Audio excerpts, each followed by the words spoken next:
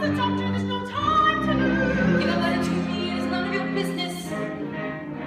With a husband at home and a bit on the side. Is there anyone here who can swear before God? She has nothing to fear. She has nothing to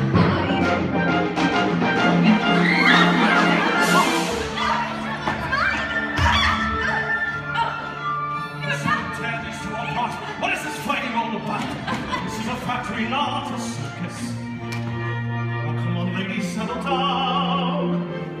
Business of repute. I am the mayor of this town. I look to you to sort this out and be as patient as you can. So say how this began.